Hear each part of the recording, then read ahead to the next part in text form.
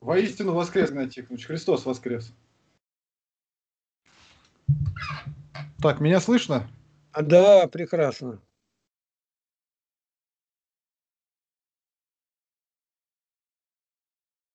Слышно, слышно. Так, так, так, сейчас. Сейчас, я пока что-то плохо вас вижу.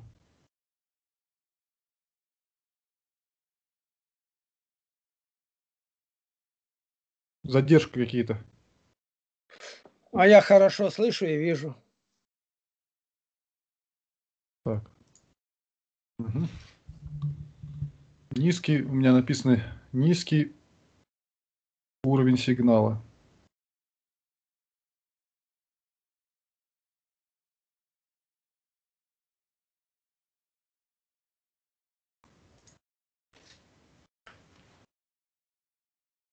Так, ну ладно, все. Игнат Тихонович. Подожди, так, э, наладили, все? Ну да, вроде все идет. Хорошо, слушай, Христос воскрес. Воистину воскрес. Игнатий Тихонович, э, я давно и тоже хотел у вас задать такой вопрос по поводу вашего лагеря. Ведь вы бессменный начальник детского лагеря, еще были в советское время, когда вообще, наверное, и не было никаких православных лагерей в России. И вот я хотел узнать у вас, у меня вопросов тут много по, поводу, э, вот по поводу всей этой деятельности-то. Ну, начнем по порядку. Вы основали детский лагерь «Стан». Что, почему вы это сделали? Что вас подвигло основать этот лагерь в «Стан» именно в советское время, когда вообще было все это запрещено? Как вам на, мы, на в голову пришла такая мысль? И что я... вы делали при этом? Да, дело в том, что я не городской, а я родился в Потеряевке. Ну, родился э, тут 35 километров, но меня там четырехлетнего суда привезли, и поэтому Потеряевка для меня родина фактически. А дальше отец с фронта без руки. А на какую работу? Он пасти, ноги целые. И он фактически 39, и там один год еще 40 лет, как Моисей со скотиной. А мы там с пяти лет уже на поле, отнести еду, завернуть корову. А корова, она не понимает, я большой или маленький. Ты кричишь, бищиком щелкнул, и она в глазах ее, я очень большой. Я думаю так, маленьким кажется человек только в глазах гуся, гусака. На любого кидается, в его глазах, наверное, мы наперсток маленькие. Я так себе сделал вывод. И вот поэтому в 1972 году, когда Потеряевка была разрушена, профессор Залесская, кажется, этим делом занималась. Только в Алтайском крае к тому времени было 360 сел, населенных пунктов полностью уничтожено. А мысль заложена была как бы хорошая. Маленький э, магазинчик, там то другое. А надо их переселить людей, как будто это воробиное гнездо. Большие, крупные. А это все это разойдется никуда. Школа ходить будут. Ну, на бумаге да, оно так выглядит. А на деле это не так. Люди будут жить более укрупненные, в Корчиной, там ничего нет, люди уехали в город, к родственникам, другие республики, страна-то была одна. И пошло и разрушение. Это не день, не два. Сегодня оказывается, уничтожено 51 тысяча государствообразующих поселений, те, которые кормили. Разруха была ужасная. В одном только Алтайском крае незасеянными при перестройке было миллион двести тысяч гектар. Когда похороны в странах, как он, спроси, в Израиле, в Америке, в 3-4 этажа, да в один гроб могут положить. Там земля вообще, камень один стоит золотой. И вот здесь, когда наши родители уехали, они были последние. Семья большая, отца 10, у нас э, ребятишек, живых 10, а было 12 у мамы. Вот. Ну, ехали, плакали, конечно. И уже в 72 году никого не было. А так как мы все время приезжали, приезжали. А я-то уже верующий был. Домой тянуло нас. Хотелось тут быть. Приезжали, уже никого не было. Ну, мы искали сразу, какая копна, где есть солома. Солома набивали мешки, там матрасы. А если нет, еще прямо в солому зарывались и спали. Главное, от комаров спастись. А зайдешь, себя закрыл, проникают, а комар-то не пройдет. Ну, один-два там пролезут. И вот мы с 72 года лагерем не назывался, а узнали, как хорошо, стали к нам цепляться друзья, близкие других городов. Мы лагерем его в то время не называли. Просто приезжали отдыхать. Но это все лагерная установка, молитвы, как сохранить пищу, вставать, рыбачить, хлеб, молоко доставать, где березовый сок пить. Даже на березовый сок еще приезжали. Раньше было. И вот так мы занимались. Приезжали люди. Мы меняли раз 10 место стоянки. Стоянка должна была отвечать следующим. Должна быть где-то на пригорке, чтобы ветер шел, чтобы деревьев рядом не было, иначе комары заедят, от комаров избавиться. Второе, чтобы недалеко был лес, где доставать сухостой потому что печку сделать надо было. А так как деревня была разрушена, то везде там валялись и кирпичи, там пахали, они выпахивались.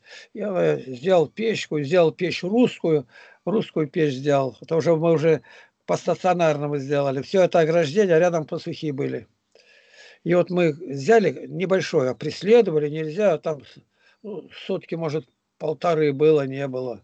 Ну, прям маленькие. И где взяли крапиву среди крапивы выкорчивали, куда и корова не залезет. Плантации из крапивы жгучие, большой крапивой, высокой. Вот. Мы боялись, потому что против, ага, вы землю захватили сельхозугодие. И дрова когда сготовили, а в лагере некуда, а тут стоят шалаши, на 10 человек шалаш.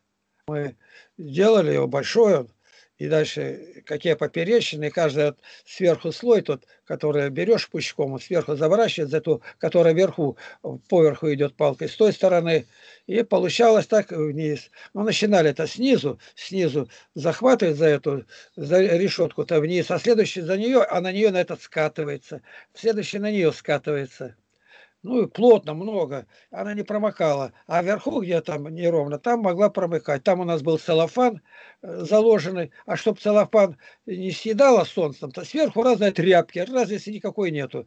Потому что не от дождя тряпки, а от солнца. И все это притягивали на веревочке, бревнышки такие, небольшюрки, они висели не до земли, а просто придавливали проволокой или веревочками.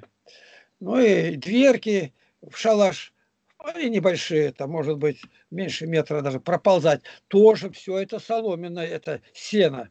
А сено это осока должна быть. А осока здесь, где пруд наш, вот где крещение было. Все на себе. Там же ничего у нас не было. Вначале даже и ножовку не брали, а потом стали делать схроны, как называют. И у них таких схронов было около пяти или шести. Мы все богатели, все у нас появлялось. И вот как я все должен был обдумать уже на месте стоит лагерь, но он не зарегистрирован, ничего. А тут уже приезжали, гонялись, там за нами приезжают, а мы там, где второй мостик, куда ездили, где шлюз-то где, и вот там много воды было, но меньше, чем сейчас, только никогда не было. И там едет комиссия какая-то, и видит, кто-то бегает, а мы-то не видим-то. Кто это там бегает? Это когда придут, я с ребятишками бегаю. Вот ребятишки я с ними там, вот этот кузнечик, я называю его там, у него он крылышки черные, он как взмахнет, а у него красное-красное под ними. И мы это звали э, риза монашеская. Ну, такие названия придумал, а биологически-то я не знал. И они увидели тут я с ними. Вот. Ну и начинает. А тут в одном месте росли две березы черные, карельские. Как они появились, неизвестно. Но кто-то придумал, что мы приезжаем, чтим эти березы и молимся им. У березы молимся поклонники. Ну, это не... Это а, так между... Они кто? А они кто преследовал? Они это кто?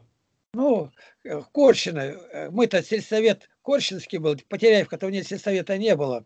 И там, которые э, стали директорами, а учились-то вместе или на класс раньше, на класс позже. Мануилов там, Анатолий Сергеевич вот этот был. Ну, вспоминаешь, там Верба, Шурка был, он куда-то уехал. Сермащихи тоже в Корчину ездили, потому что везде было по 4 класса, а тут 10.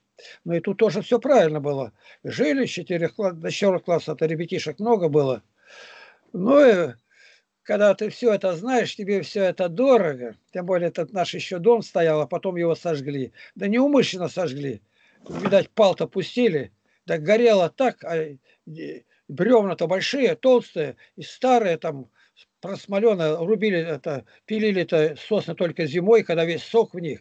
Ну и там горючая э, смола, ее видно даже искорченное было. Там шифер стрелял, говорит, сотни метров летело, наверное. Громадный жар был.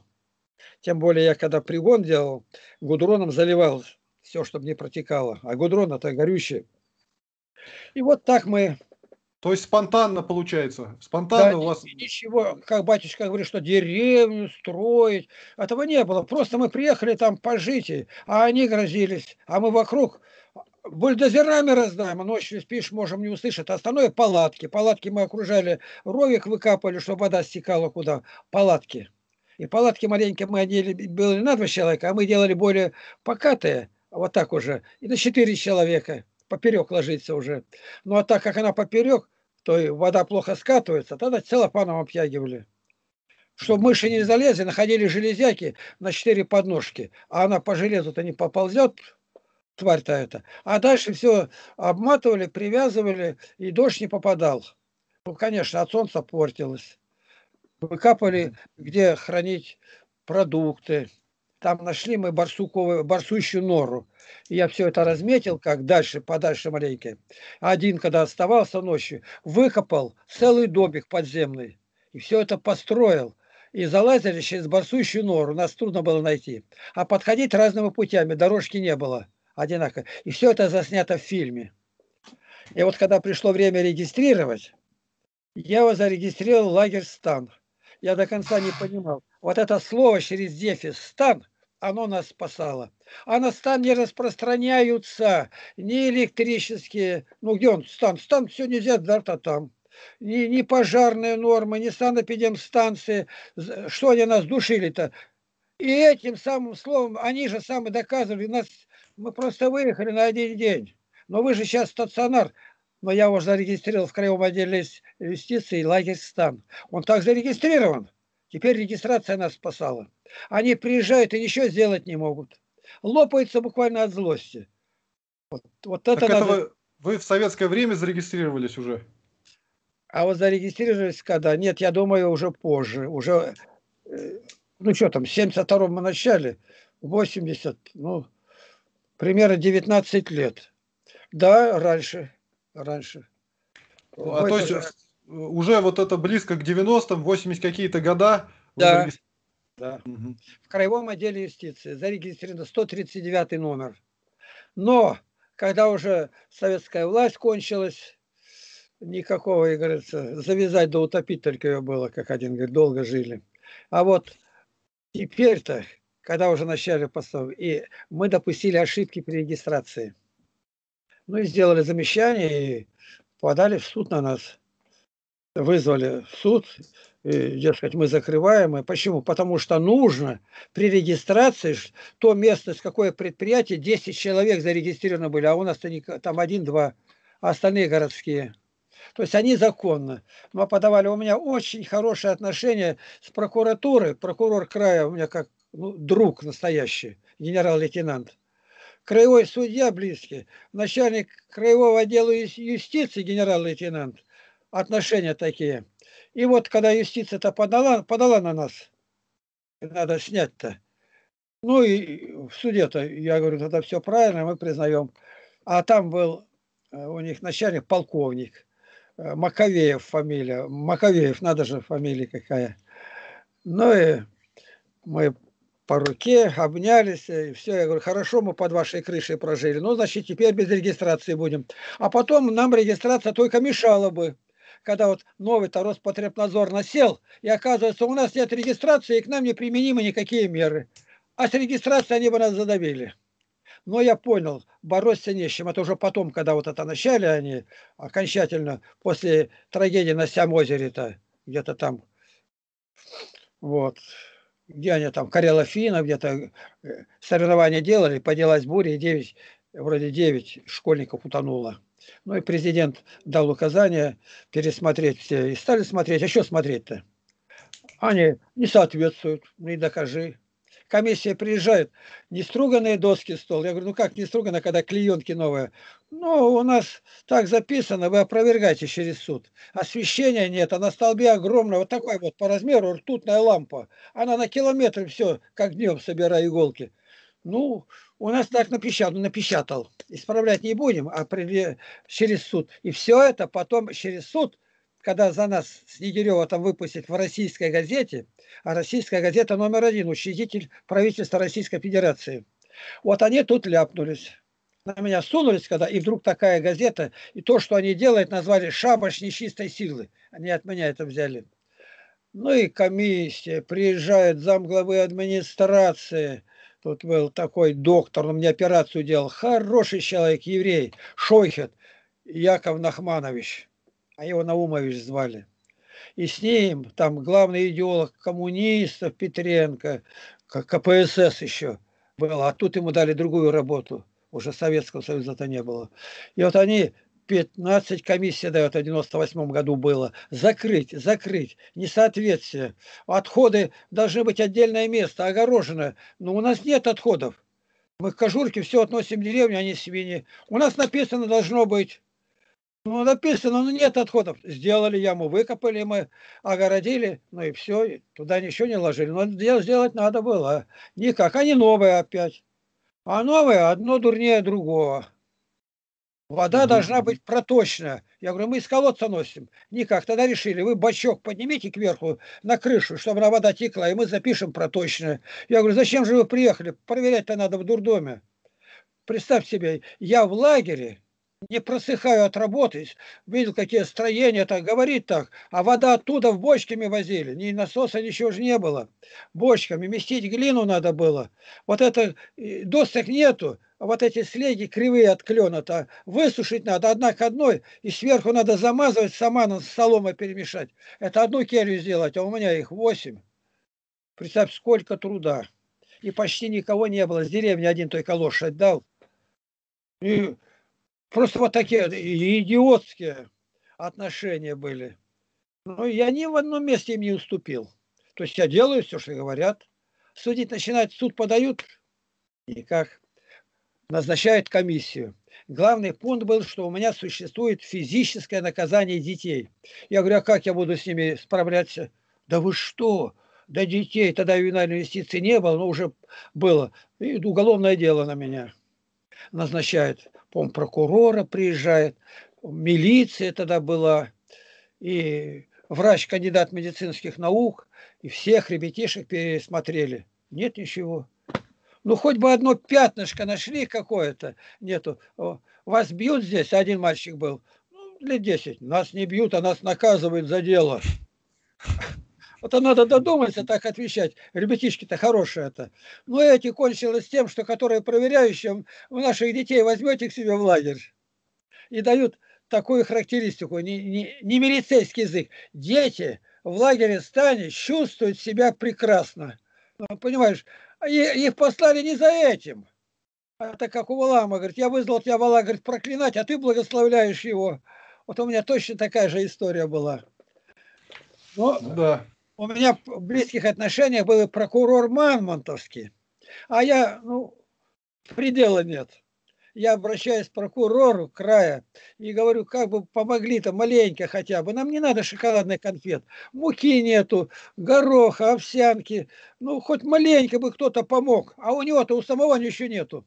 Он тогда пишет, средства отпустите Мамонтовскому Сухов его фамилия. И он сам привозит, а я после операции, у нас большой ларь железный сварили от мышей. И он туда, прокурор, представь себе, носит для детского лагеря. Они-то подали разорить, не дать. А получилось, Господь запрек их, они работают здесь. Дошел, говорит, не возвращается, как Иуя было. Это Бог делает, человеку нельзя. Я ничем не могу привлечь их к себе. Потому что, ну а кто я? А они там идеологический центр от КПРФ, а там еще подзуживает еврейская организация ВНЗР, наши туда ушли. Там насыплялось какой-то профессор, какое он отношение имеет, вообще не знаю. Ну, регулирует, видимо, советы дает. Все до одного пострадали. И при том пострадали ужасно как. Статья идет. Это для Слова Божия нет уст, там написано. Наконец-то Лапкина прихлопнули статьи. Вот так. А я когда вернулся, называется требование сатисфакции, удовлетворения после того, как они напали.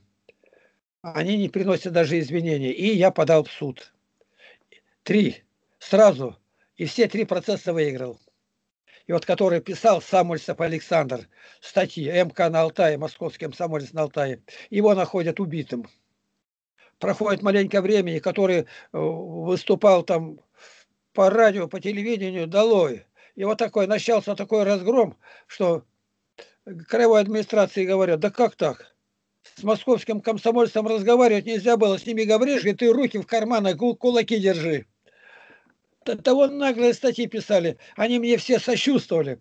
А я им как начал давить, а и нас не возьмешь. Они зарегистрированы где-то в другом городе, а подчиняются Москве. И я нашел одного человека, который барнаульский, у них зарегистрирован. А этого достаточно. А теперь они оттуда должны присылать своих, кого надо. У меня юристы хорошие были. Они элита алтайские. Алтайские. Элита называется. Лучшие советовали и как. Ну и дальше суды-то начались, их вытаскивают. А они ничего доказать не могут. Мальчики спят с девочками. Ничего, ну а это действительно стоит того.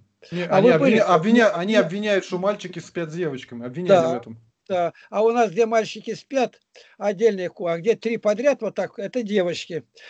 Там у них скамейка. Мальчик не имеет права проходить даже напротив. Они не знают. Ну, судья-то спрашивает, а вы видели как? Ну, не видела, говорят, нет. А по, тогда была это не просто трепнадзора, а санэпидинстанция называлась. И он вот здесь на меня нападает, Смирнов его фамилия. Это, это там курятники. А судья говорит, зарегистрировано все, краевое дело юстиции. Что говорите? Она за нас, а ничего не может сделать. Она говорит, документ, фотографии. Они никак не могут. Родители не допускают детям, а родители в свидетели идут. Я говорю, лагерь такой, что вместе с детьми могут бабушки, дедушки быть по своей путевке. Но не вмешивайте в воспитание. Все, а мы все были в лагере. Там, говорит, оставляют хоть на два срока, хоть на все лето. И эти все начали гореть буквально. Ну, гореть, то есть ничего не могут сказать. А у них подушек нету, они на вещевых мешках спят. Я говорю, нет, у нас отдельный склад, и там вещмешки. А сколько вещмешков? Ну, ну сколько-то, 85 человек, значит, 85 рюкзаков. А подушек сколько? Я говорю, 120 когда размонтировали здесь воинскую часть, э, высшее авиационное училище, а у меня знакомые там до генерала, знакомые просто, которые за меня заступаются. И они, вот дядя Боря, которого мы ищем-то, он оттуда, генерал-полковник. Но, ну, ясно дело, что сержант бороться тут не сможет. И на машинах приезжает и приводит, что я прошу. Две огромные танковые палатки. Огромные. Из одной мы сделали церковь. Просто огромно. Танки накрывать, видать, было. Это вообще все, все не расскажешь как. А который привез, я говорю, а мне сообщил генерал, что три. Я одну взял, капитан говорит, себе. Можно? Ну, можно, конечно, раз привез, так нам и две хватит. А дальше, это Бог делает так. Я в одну так, попутно всю организацию обращаюсь, они торгуют э, с целлофаном, большие тюки, его тюк прям трудом поднять можно, там, наверное, не одна сотня метров. Но я написал, нам бы метров семь надо. Ну и сказали, в какой день прийти. Я приехал на машине. Они выносят полный рулон. А рулон, я не знаю, ну сотни там, наверное, много-много там. Выносит второй рулон, третий. Я говорю, тут ошибка какая-то. Никакой ошибки. Да я начальника не знаю, даже в глаза не видел. Ну, у вас написано так. И он сделал резолюцию, написал, выдать 7 рулонов. Я когда увез, маленько погодя звонят и говорят, ой, как мы ошиблись, надо было 7 метров, а мы 7 рулонов дали. Я говорю, назад привезти. Да не надо, начальник сказал, на детский лагерь, то мы не объединяем. Вот Господь застил же им глаза. На одну нападают Буранова и на ее покушение. А у нее иконка была железная, и пуля попала прямо в иконку. И отрикошетила. И, видимо, она обед дала и узнала про нас, и помочь надо. И она, второе покушение было, она решила выехать, дело продолжить в Германии. А перед этим загрузила машину и нам везет Валентина звать. Я говорю, ну нам это не надо, там так, так, такие конфеты, там это. Нам нужна мука, грубый товар. Дробленка, там вермишель, горох, сеченый называют его там. Вот это надо-то. Ну ладно, уже для ребятишек-то. Я иду РТИ, резинотехнических изделий завод. Вот с первой точки, первый раз только пришел, вот, а там Хромов Анатолий Петрович, я его назвал, он у меня есть где-то, э, патриот называю русский. Он повелевает выдать мне две лодки. Две лодки. Дальше у нас не хватает шлангов из пруда качать в лагерь. Он выдать, выдать с избытком дал. Выдать, выдать еще метров 300, наверное, дополнительное. Я это в деревне раздавал. Дальше. Нам нужно дет, детям сделали деревянный бассейн и затянуть. Ну, а какой размер надо? Ну, 10 на 8. Он дает заказ, и они делают такой непромокаемый, из которого лодки делаются. И я это делаю. Дальше. Мне уходите, Анатолий Петрович. Ну, я пошел. Да подожди ты маленько. Он лезет в шкаф, достает деньги и мне в сумку толкает. Да подожди ты маленько, у него там шоколадки купленные. А я один раз решил похвалиться, я говорю, мы даем кататься только в воскресенье, показать бережливость. Он как на меня напустился, да что вы делаете? Да я же сказал, да мы еще дадим лодки, чтобы каждый день плавали на лодках. Я говорю, так я с ребятишками не справлюсь тогда. Я потом его уже, когда завод закрыли, нашел, и он никак не, не берет у меня, никак. Пока не взял деньги, тогда книги он взял. Вот каких людей-то Бог дает. Пошел на инструментальный завод ну, маленько хотя бы, килограмм 5 гвоздей, то другое. Он дает электродов килограмм 10, ключей разных размеров, которые я буду обменивать.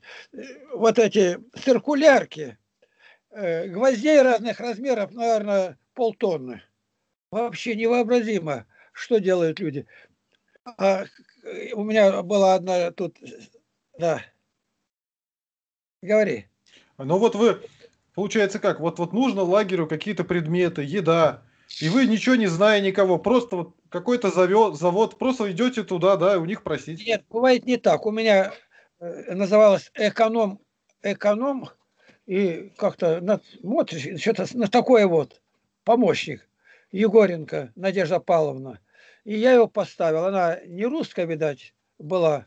Вот так, такой вид-то у ней, ну, не притягательный. Она верующая была. И я ей написал, что нам нужно. Я-то в лагере, а она идет по этим местам. А они все меня уже знают. И она говорит, меня принимают, как будто бы я принцесса какая. Да подождите, да мы сейчас, да мы вам домой завезем. Она куда бы ни пошла, ночные горшки детям-то и эти дают. Она все выполнит. А чтобы сам я ходил, это у меня редко было. Но машину нужна. Да-да-да, я приду. Приду, а начальник и говорит, э, железнодорожного отдела, не отдела, а администрации. И он там Голобокова, Светлана Ивановна, женщина такая могущая, стоит. А я возьми да скажи, скажи такой, такой долбнем не убьешь, в простой гроб не положишь. Она расхохоталась. Я, она двери никогда не закрывает. Я должна видеть, что у меня приемно делается. Люди приходят, надо решать. С ней не наговоришь. Так, с чем пришел Лапкин? Я говорю, машина нужна. Какая? Я и говорю, так, автобаза, приготовьтесь. К вам такие обратятся. Да-да-да-да, все. Другое. Так, что еще нужно? Я говорю, фляги две бы масла растительного. Она, так, маслозавод. Вы там можете две фляги дать? А куда? Детский лагерь. Тут помогаем мы им. Хорошо, она звонит. Вам что нужно? Я говорю, холодильник. Она звонит. И главное, холодильном заводе фамилия директора Холодилов. Вот нарочно это или нет? И она, он говорит, нету. Я сказала, надо. Ну, ты придешь ко мне просить, я тебе ничего не дам. Ну, даешь или не даешь? Он тогда выводит, да говорят, там на вокзале что-то списывают. Ну, так сразу и говори, время тратить на тебя. Вот такая вот она прямо, я за нее ходатайство в краевой администрации, она работает, ей надо шире фронт дать. И вот что бы ни попросил, вот мне нужны кольца колодец копать, бетонные кольца по полтора метра и по метру. Я обращаюсь туда на завод. А тут был э, долго от коммунистов Александр а, Александрович, помню, здесь был губернатор края. Потом его сделали послом в Белоруссию. Скажу потом, э, что-то имя его, фамилию забыл. И тогда он э, приезжал, здесь тогда был Евдокимов Михаил Сергеевич. Никто не думал, что какой-то сатирик там займет. Подсидели, они там сделали два Евдокимовых, и люди не знали, за кого какой-то такой шаг они сделали-то. А там тоже не, не, не думали. Надо бы уже бороться, уже бороться некого. Он внимание завлек, русский мужик там выступает. Ну и говорят, он руководить-то не может, он тут погибнет потом. Это, нет, Суриков тот был, Суриков, фамилия его. Его отправили туда. А когда Потеряевке статус придавали, он был, ну, видимо, Совет народных депутатов, ему подчинялся за подписью Сурикова такого-то числа в 91 году, 23 марта, принято решение о восстановлении Потеряевки. Все рушится, и вдруг восстанавливают. Там нашлись люди наши, наши, Потеряевские, даже один, у которого четыре высших образования. Вот какие у нас люди были. Вагнер Николай Николаевич. И еще мы с голубями возились вместе. И вот здесь Евдокимов не может руководить а я обращаюсь к нему, Михаил Сергеевич, для лагеря нужно вот такое-то. Дальше я не знаю, дальше мне нужно самосвала три гравия и крупнозернистого песка. Я сделал заказ сегодня, завтра к обеду в все, трубы привезли, кольца привезли, гравий привезли, щебенку для колодцев за круг, чтобы это дренаж был. Для меня остался он как очень хороший, Евдокимов-то а на него не умеет, там ничего, там нападали, Назарев, Назарщук, э, законодательном собрании Александр Александр был, кажется, нападали на него. А для меня он хороший. Один раз обратился и быстро все выполнил. Вот, то есть, я не так знаю... Это бесплатно, никогда... Игнат Тихонович? Это а, все, да? Это все бесплатно, что ли? Его бесплатно. Бесплатно, и даже расписывать, да, давайте я получу, да не надо. Ангел впереди идет. Я не знаю, какой завод дал, с Евдокимом я ни разу не встречался, с Суриком встречался, он курит, а я стоял с ним рядом, а так вот его помощью, Александр Александрович, бросьте курить, бросьте курить, на вас люди смотрят, это он за компартию был. То есть у меня и мэр города Барнаула, это вообще начну рассказывать, это длинная история. Вот смотри, это все до лагеря. Вот мне нужны продукты. А к кому обратиться? А хорошее отношение с мэром, он говорит, у нас тут депутат есть в другом городе, Валейске. Там есть э, обрабатывают, обрабатывающие предприятия по продуктам. Туда обратитесь. А чтобы обратиться, у нас тут Макаров, он к воинской части относится, но он депутатом, надо на него. Мне рекомендацию, я туда, я приезжаю, они привозят продукты 4,5 тонны. Тонны! Я всю Потеряевку засыпал продуктами. Я никогда не видел Макарова этого. А вот Бог как делает – я называю фамилии, я не боюсь это сказать. Вот понимаешь, какое дело? Вот на этом заводе, который гвозди давал то другое, он потом стал ректором, кажется, университета или какой-то там экономической. Я потом все-таки нашел его, отблагодарил книгами.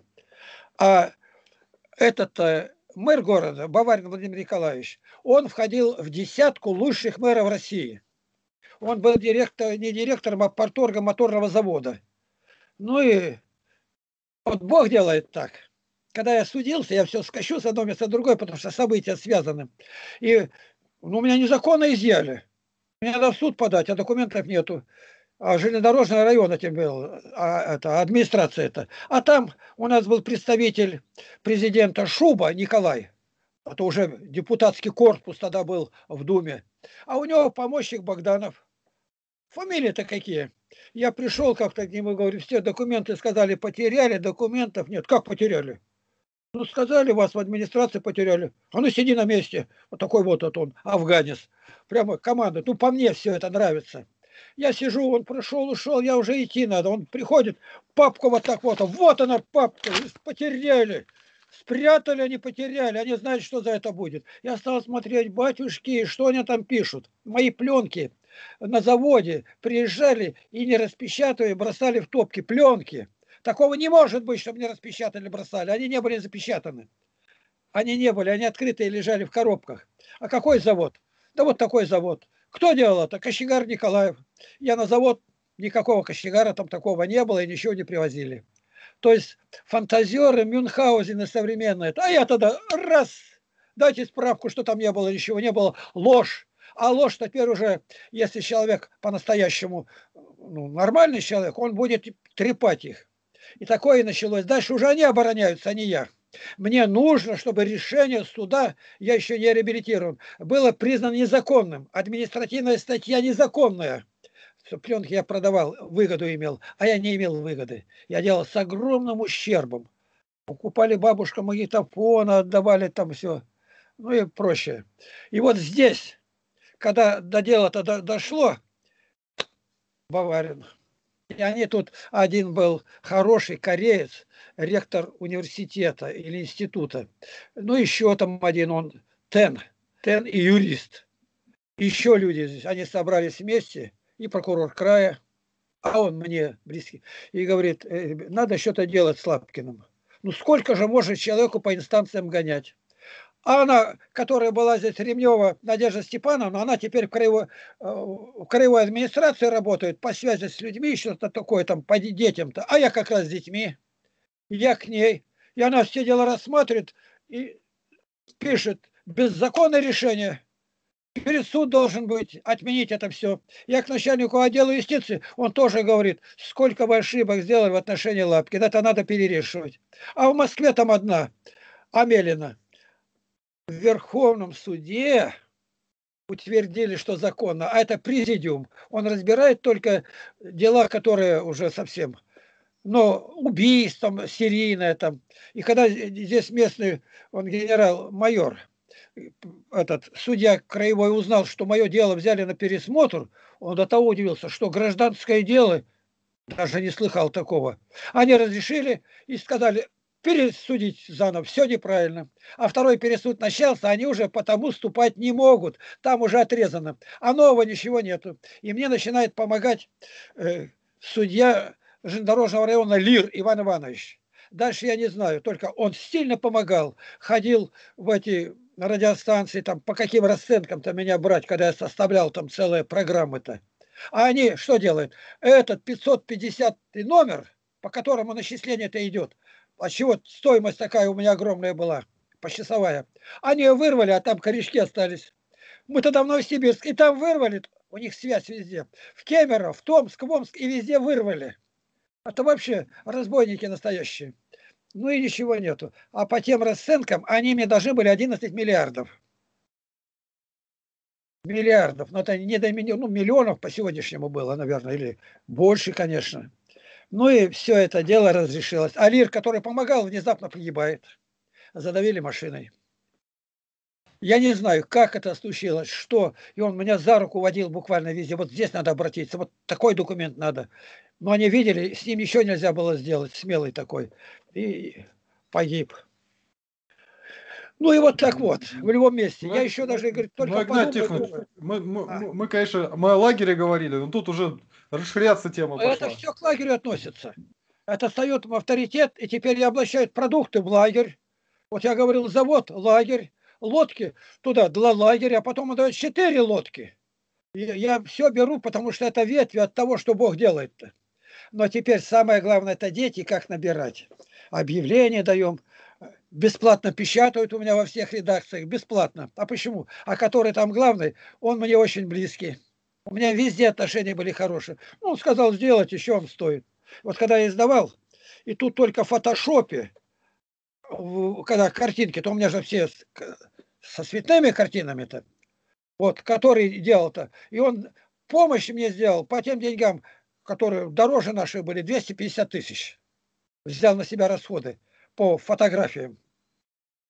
Мне сильно помогали, очень сильно. Я бы ничего не сделал, как вот миссионерские поездки одинаково.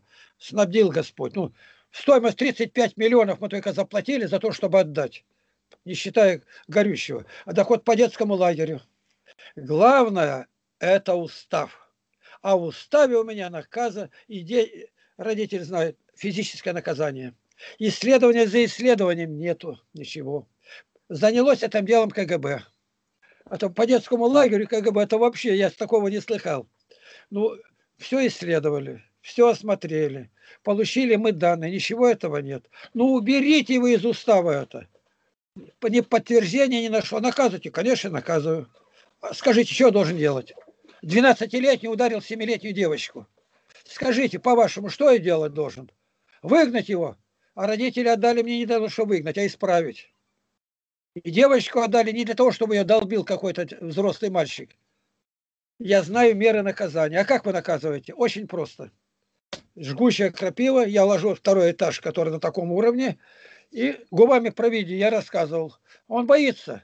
Алеша, ты заматерился, ты девочку обматерил, ты обязан это сделать. Боюсь. А все в это время лагерь молится. Я выхожу, вот он стоит. Тебя наказали? Нет. Почему? Боюсь. А я эту крапиву беру, и губами у меня такие волдыри на губах, рву, бросаю, весь лагерь со смеху падает. -то. Он, я не боюсь. Ну, заходи. Японское канзё. Культ небоязненности. Он тогда губами будет, все наказал. Теперь давай я тебе щелкну, а сам себя по голенищу, чтобы слышали. А ты слюнями покажи слезы. Ты бегом беги к умывальнику. Водой холодной тебе надо скорее, там, где я тебя надрал. Чтобы... А было что по-настоящему? Было по-настоящему. Потому что по-другому нельзя. Он двоих ударил, троих отматерил. И вы избавите, избавлю. Этого не будет. У меня целая система наказаний была. Самая последняя была на веревочку. Никуда, ни шагу. Если он не доедает где-то, с чашкой будет ходить до обеда. Купается и с чашкой в руке. Все он после этого метет как надо.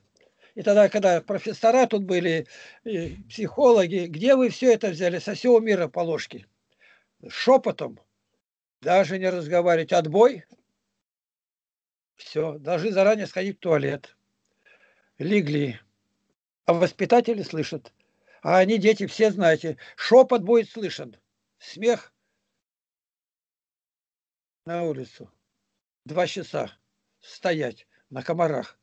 Но это все я говорю, а будет все по-другому. Теперь идут, разговаривали. Кто? Никого нет. Никого нет, значит, все власти. Оденьтесь хорошо. Восемь человек по разным местам их расставить, друг друга не видят, в руки прутик, вы на охране. Два часа долго, полчаса можете. На четыре дня растянем.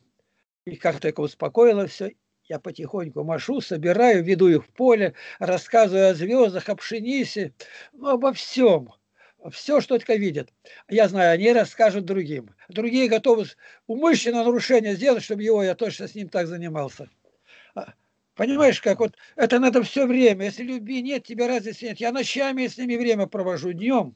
Привозят подзорную трубу тут один Галендухин. Приезжают группами вот этого, где они печатали, Юревич Андрей-то. Он с ребятишками приезжал от отца Геннадия. Это детский лагерь.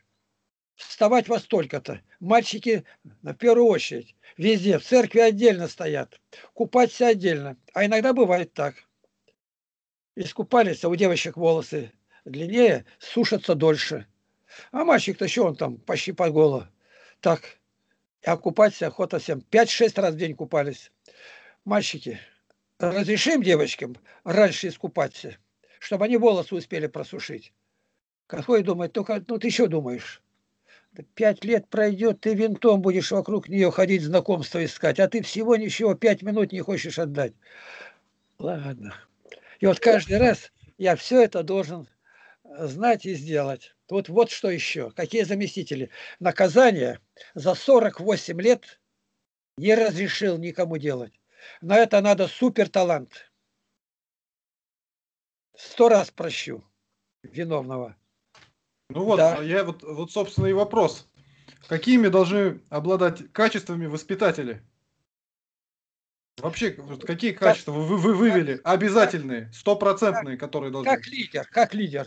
Первое качество воображение, второе знание, третье умение, четвертое решимость, пятое беспощадность, шестое привлекательность. Вот пять качеств находили у нас, шестого нет у этого человека. Он давит, а дальше не знает, как вытащить. Привлекательность. При всей этой строгости дети вокруг меня облепляют, говорят, как пчелы. Меня, если нету, они каждый раз спрашивают, а где дядя Игнатий, а где? Я на велосипеде не дают меня крутить, сзади толкают. Это, это не, нельзя доказать. Потому что самое лучшее, что у нас есть, все по совести. Вот мы пошли, разбились на группы копать корень солодки. Идти, можно было уехать, машина есть, нет, пешком. Разуть совсем. Там колючки бывает, то другое, через акупунктурное лечение, через подошву, там и легкие и глаза, все будет. Дети-то чего, здоровые, там и ходим, а еще идем там, где песок, там стоять нельзя. Терпи, тепло идет. У тебя ни гланды не будут болеть, ничего, я знаю это все.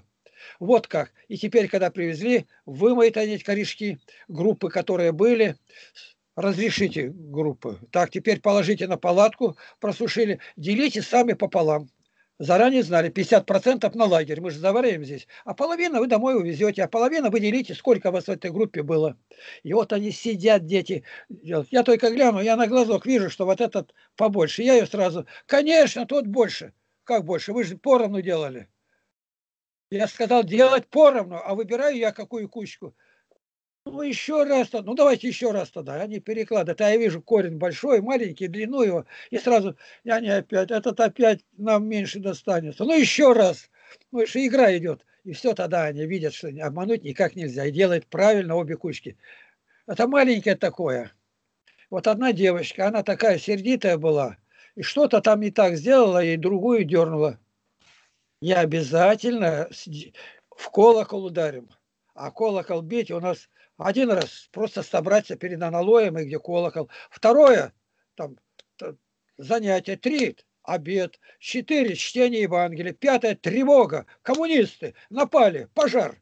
И вот тут что делать, каждый знает, хватает кошму, хватает песок, все это огонь тушить, посторонние все кидаются, валят его за руки, за пальцы, как вот Гулливера в стране лилипутов. И мы все это тренируемся, детям интересно. Я каждую птичку говорю, идем в лес, я рассказываю, какое дерево для чего, какое листья, а потом листики сору, на крысе рассыпал, какому дереву принадлежит. Представь, ребенок сколько знает. А потом травы, что такое кровохлебка, там тысячелистник, от чего. Идем за ягодами. Не отставать. Дальше трех метров, каждый метр горящий будет. А там, где с головками растет, с плотными, она называется идея. Идейное наказание. А Взрослому через рубаху больно. И вот один отстал. А сам такой длинный, как косиножка, Сашка, сын дьякона. Отстал, дальше идет он какой-то вихрята. Стоп! Стали все. Ну, давай. Ты, если отстал от последнего, который друг от друга на три метра уже дальше нету. Ну, явно видно, что может. Я никогда не видел. Он как прыгнул по воздуху, оттолкнулся и на месте все так ахнули, Сашка, ну-ка сделай еще так, я это не сделаю больше. Он из-за наказания, из-за страха тройной прыжок, а такое есть и на Олимпийских играх-то. Все теперь идет рядом. А который дальше, я этой болиголовым этим, я его дерну. Все в кучке идут все. Лазить по деревьям, это опасно. Сорвать, я рассказываю, береза не ломки сучки. Они как обезьяны до верхушки лезут. Какие кощери сделаны, как мы это все по, по земле волочим, забил скобки, веревки. Ну, надо все это видеть. Вот ребенка, чтобы взять, как тогда был у нас Степаненко Максим, я, говорит, взял на неделю, что ли, там человек сколько-то, я, говорит, там с ума с ними подсходил. Они в разные стороны растекаются, у меня ни один никуда. Вот грань.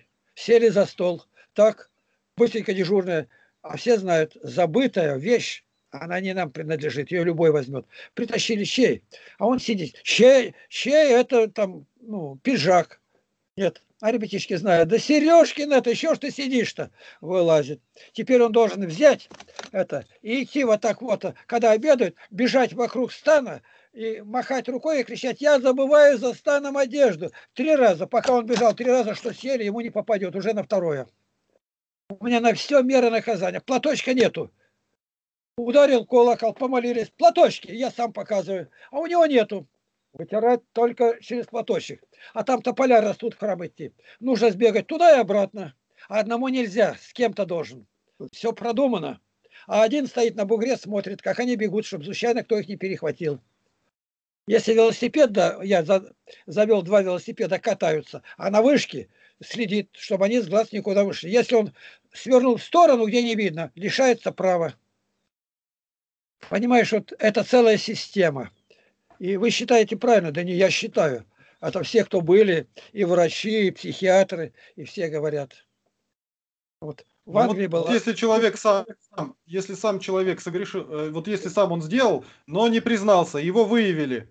И если он сам признался, различные наказания. Различные. Если человека не сознался, я его накажу раза в два больше. А если солгал, в 10 раз больше. Ложь смертельный грех от дьявола. И они этого дети как бы, что-то сделаете так, они прям со всех ног ко мне бегут. А вот я сейчас там был, кто-то сделал, там уронил, разбил. Ну, пойдем посмотрим, почему ты так сделал. Они вот растут настоящие граждане страны. Вот один мальчик, девочка приехала тут, а она мать алкашка, а живет с бабушкой. И она, ей лет 7, может быть. И она корову сама доит с трехлитровой банкой, выходит на трассу Барнаул-Новосибирск и торгует. Она жизнью рискует, ее любой шофер любой задернет к себе, чтобы хлеба купить. А наш один член общины, там в школе был, он знал про нее. Эту Иру прислали ко мне. Прислали, а у нее вши кипят в голове. Ну, она самодельная есть, там, хозяйственное мыло, керосин, там что добавляются. Ее сразу вывели в отдельной кели, и все. А вшата уже известно было. И один мальчик что-то забился, вшивая. Она пришла и заплакала. Меня назвали вшивой. Сразу в колокол. Колокол – это тревога. Собрались. Вот а Ирина, мы же сказали, приняли в лагерь. А в лагерь кого принимают, он обязан выйти, сказать кратко биографию, что мы его принимаем в свой коллектив. Так, кто ее назвал вшивой? Тот вылазит. Я... Смотри ей в голову, он посчитал. Ну, хоть одну вошь найдешь, тогда ты прав. А еще он найдет? Их нету, ее расчесали, высчитали, высчитали, там ничего нету. Вот тебе наказание. С сегодняшнего дня ты играешь только с Ирой. И ты за нее заступаешься. Разулыбались оба, все. Она девчонка хорошенькая, да и он парень такой. Ты понимаешь, ну, ну, ну пройдет все лет семь, ты же вот так вот будешь, и коло нее святые носить будешь. Ну, маленько-то думай.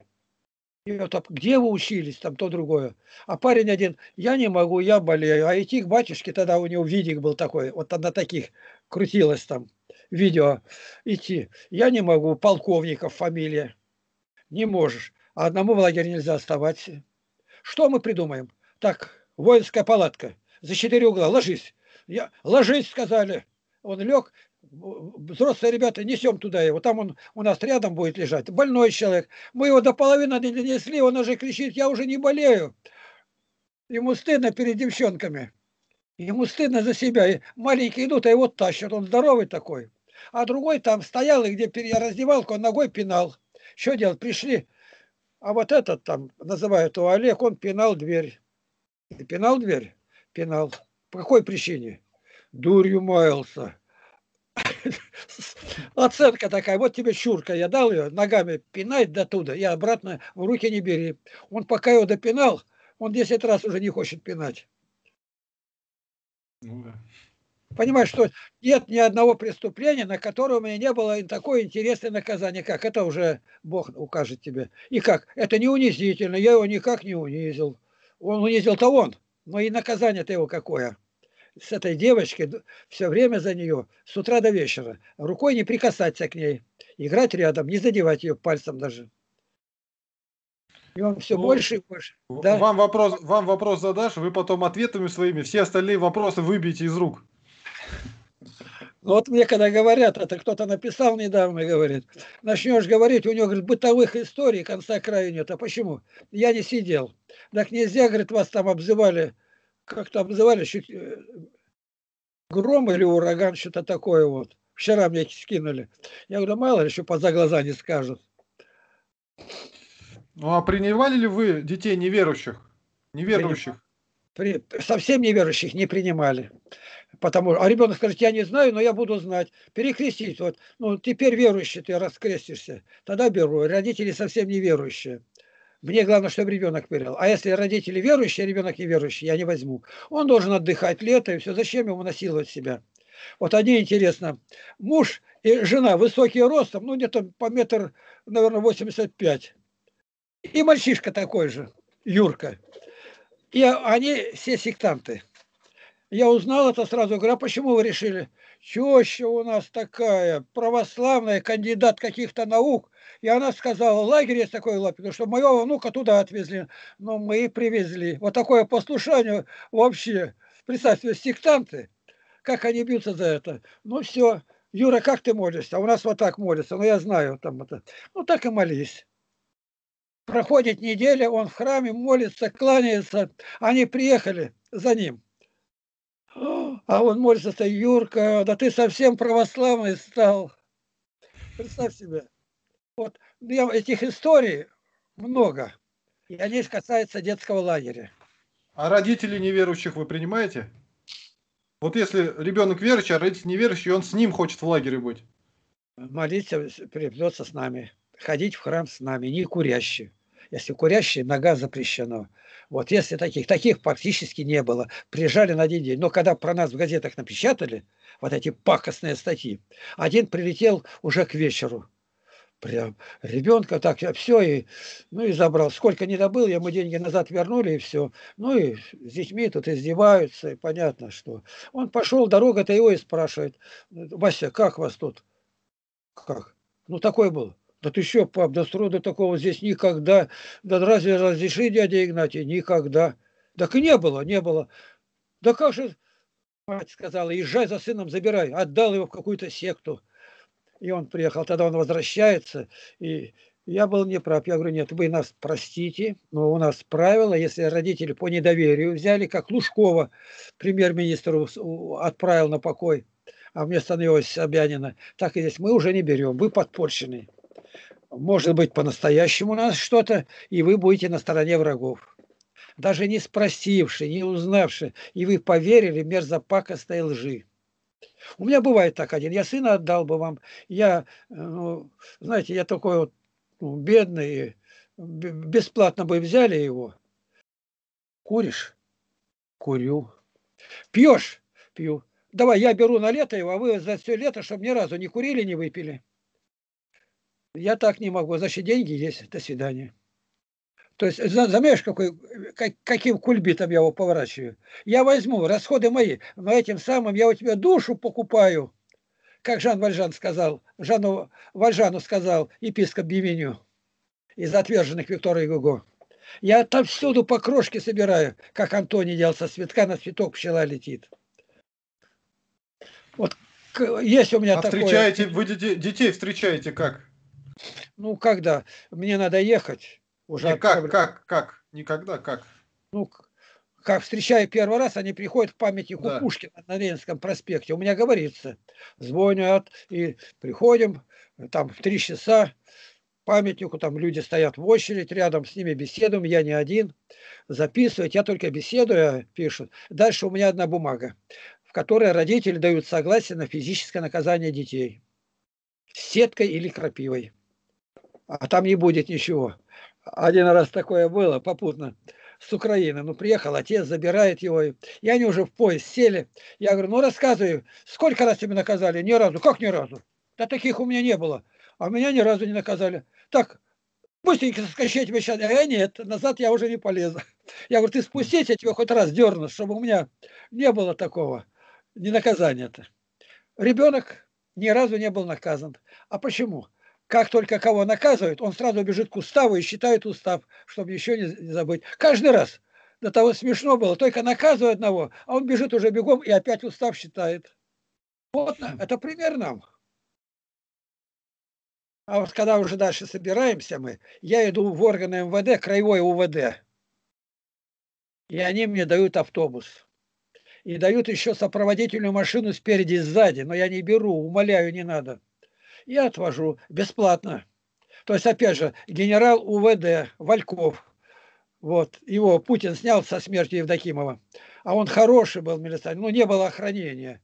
А он, говорит, сам отказался, Евдокимов. Ну, и так мне говорили. И мне жалко, он по Теряевку приезжал. Его избрали при мне генералом, он стал. Приезжал сам в лагерь. Начальник милиции Алтайского края. А если у меня прокурор, в очень близких отношениях, то что бы на меня ни писали, у него тщательный разбор будет. Ни одна ложь не прошла. Ни одна. Вот поэтому э, раньше говорили поговорка, не имей 100 рублей, имей 100 друзей. А ее переделали, не имей 100 рублей, а имей тестя, как от жубей. Редактор «Известий», у которого тестя был Хрущев при, во время власти.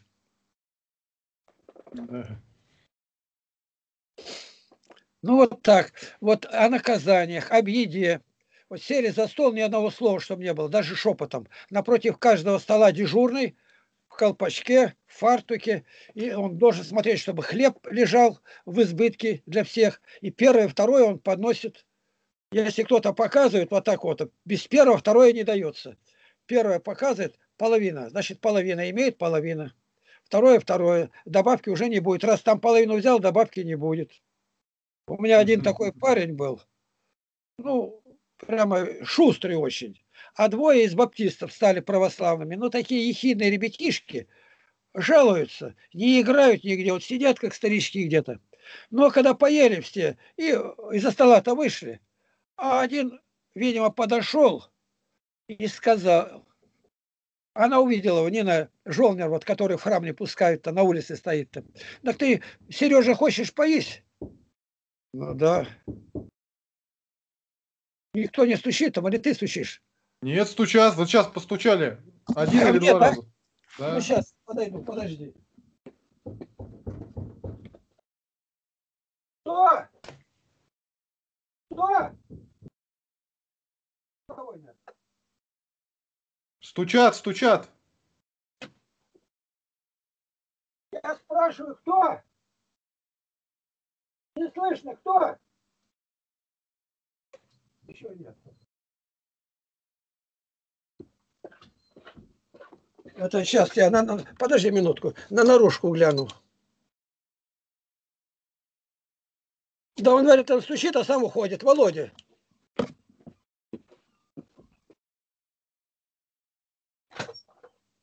Володя, ну пойди быстрее. Кричу, кричу в двери, никого нету. Я там же. Так, подожди.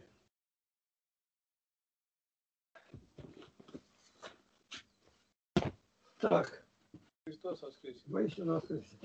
Я? Шибко доб- доб- добра хорошего нет. Вот пустые две банки, но они хорошие, трехлитровые. Ну это мы отправим. А потеряки Да пригодятся. подожди, ты вытащи, вытащи. Потеряки пригодятся. Ну ладно, я отправлю. Спаси Христос. Два мешка, и это полотно такое, она хорошая. Пойдет, И маленькое яблочко. пойдет. Так, тебе что-то, дать что-то А тоже, ничего да? не надо мне.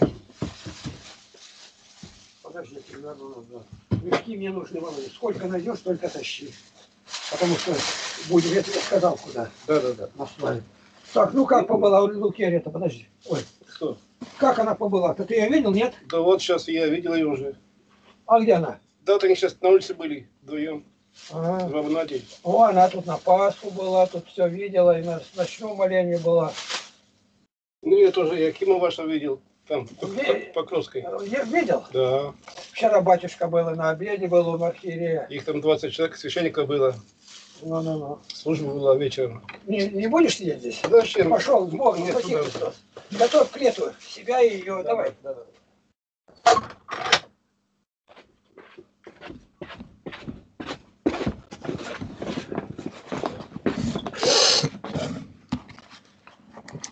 Я вот он. Эй, брат дорогой, я вот он. Это Володя Пенкин, от Гликерии ее дед. Дед или прадед, я не знаю уже кто. Ну вот стучит, нету. Я подошел, он в это время уже вышел. К в окошко стучать. Я Да. заказываю ему, что надо достать, он ходит там где-то выбрасывает, которые мешки, мне все нужно, и он приносит. У меня, видишь, везде все, говорит, схвачено. Да, Игнатий Тихонович. Ну вы вообще все вопросы у меня выбили просто. Вы все по сути затронули, когда рассказывали. Уже и Да. задавать нечего. Как обычно. Я ни разу вам не смог задать по плану не один вопрос всегда задаю, а дальше все уже. Все. Ну, понимаешь, какое дело. Вот когда спрашивают часто, где вы, вот где вы, ну, понятное дело, так я не могу знать. Вот каждый день говорят, мы только думали, сидели, разговаривали, позвонили вам, и вы начинаете отвечать, говорю, даже не узнали наши вопросы и ответили. Как? Не знаю. Я говорю, вот, решает. Я не пророк, не прозорливый. Я просто, ну, нехорошее слово есть такое, живу азартно. Я за все благодарю Бога, как есть. Вот кто будет заниматься голубями, вот, которые у меня здесь, они уже три вы, даже пять, сами, семь голубей, из двух семь получилось. И они тут надо расстилать, закрывать пол, кормить, прочищать, мыть. Э, воды надо да на два этажа, не считая двух голубятней, которые на улице. И это заниматься не день, не два, это уже 70 лет, может быть. Ну, ты сам видишь, что... Ты же был у меня на голубятне-то. Я не голубевод. Я не голубевод, я просто люблю. Вот Елена Гладущук как раз звонит тоже. Сейчас ее. Позвонила Елена Гладущук, да. Еще она говорит, когда... Сейчас позвонила. Вот сейчас звонит. Сейчас, сейчас, да, позвонит. Я а пока у... сбросил. Не знаю. Ну, она вчера тут была, сильно помогла. Помогла батюшку, свозила там в храмы, к архиерею говорила она сегодня. Она активная очень, мне это нравится. Ну, что сказать-то, вот по, по, по лагерю-то, вот когда начинали, начались нападки, вот где, ну, ну, нельзя даже придумать, совершенно незнакомое, тут только надо молиться. И вот они сумели в Октябрьском районе судью, видимо, как-то приласкать. И она вынесла неправильное решение. Я прям сразу же подал протест в краевой суд. И в краевом суде Бог дает человеком, по всему видно, что верующий. Он полностью отменяет то, сумму штрафа на эту молодежь, э, комс, московский комсомолец больше накладывает, и все сразу восстановилось на место. Да мало того, решение по телевидению самое удобное время, меня спрашивают, когда, чтобы сделать передачу, они мне сразу прислали ко мне заместители ГТРК, мы, знаете, вы только заберите заявление, а весной мы к вам поедем в лагерь, мы хорошую статью напишем. Я говорю, я уже не доверяю, вы уже не были, уже хорошую. Зачем мне хорошая? Это мне правда нужна. И никак. Я говорю, ну я, я не настаиваю, в какое время. Мне, до нас никто не спрашивает. Это решение суда, мы обязаны выполнить. Вот оказывается, какая штука-то. Они думали-то, ну, кого там лопоухий, мы его сейчас, кондовый. А не тут-то было. И вот здесь он сидел, Масолов его фамилия, мы беседовали. А потом проходит время, ГТРК присылает ко мне Шубина. Тут тоже интересно, как он расспрашивает всю биографию. Она у меня записана на сайте на моем. Там Шубин берет ГТРК. И вот с этой передачи, где он был где-то там на Урале, какие там соревнования между он там какую-то победу взял.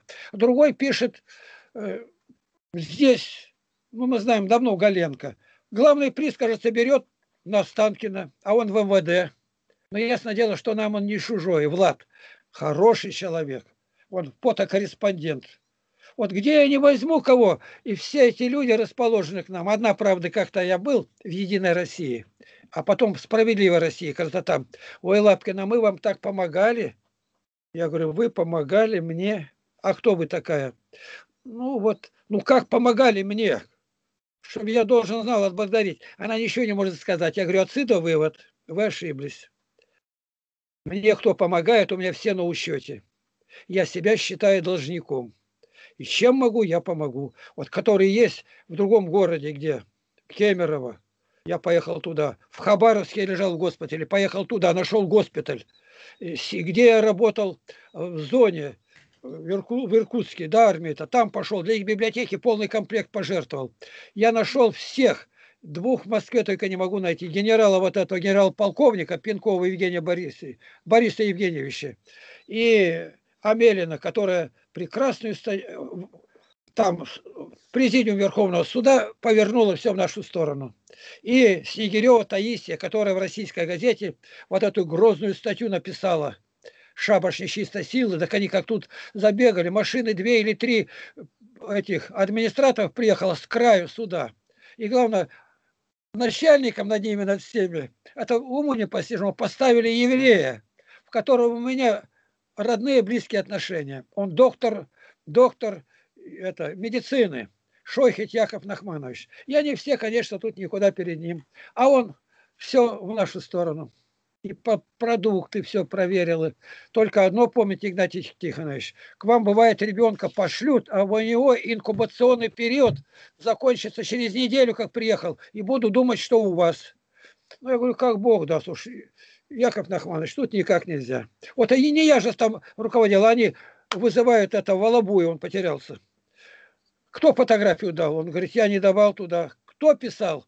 Видимо, в российской газете и пропечатанное для них это не в радость. Тем более в очень отрицательном плане. Вот когда это на наше дело мы готовились, там статья, статья вся помещается в этом материале. Вот откуда я знал в Москве, откуда друзей? Ты Богу быть друг, и Бог своих найдет. И оказалось, что Снегирева, которая писала такую статью, она прихожанка отца Кирилла Игумена Сахарова. Это вообще не... А отец Кирилл Сахаров во мне души не чает. Я когда встречаю, он со мной везде, даже в английское посольство поехал. И там все пишет, как это было. Разыгрывается, говорит, такое, что Игнатий сказал, молиться будем. И что это английцы? Что такое Англия, Великобритания? Бог выше. И начинаю молиться, и гляжу, говорит, все навстречу идут. Я, говорит, сам убедился в этом. Себе ничего не приписывать. Да, я ну, не мягкая и не ласковая, но Справедливость все признают. Я 10 раз прощу, чтобы не наказать. Пропустить. Это надо просто молиться об этом. И вот когда уже дети, ехать надо, едем туда. Как приезжаем, теперь мы уже все снимали. Какие подвалы у нас мы сделали, холодильники, где что хранили. Это все надо обдумать куда э, воды здесь не было, ходили на второй мостик туда купаться тогда. Здесь, а там уже все заново возобновили, и там-то тоже немного было пешком пройти, а сейчас 4 метра воды. А дамбу-то высокую не насыпешь, пока она не осядет. Так что 4 года я нанимала. Привезти, увезти 60 тысяч. Только платформу заказать. Опять же с деньгами. Где вы их берете? Вчера мне Лена говорит, опять на ваш счет 60 тысяч кто-то сбросил. Кто? Я, мы с ней договорились, Лена, мне знать не надо. Ты делай как только 100 тысяч, круглая сумма, ты знаешь, куда отдавать. Я и знать не хочу. Ты знаешь, я пленник. И тому человеку надо помочь. Ну, ты знаешь, 10 миллионов должен. И без этого нельзя. Кормились, он тысячу людей кормит. Мне деньги не показывают. Она вчера уже сняла, и то ли забыла, или еще при батюшке свет. Я договорился, деньги мне не показывайте. Ну, Игнат Тихонович, вот хорошо бы было бы использовать этот, сделать копию архивов. Вот что делать. Копию архивов надо сделать. Сделать. Копию.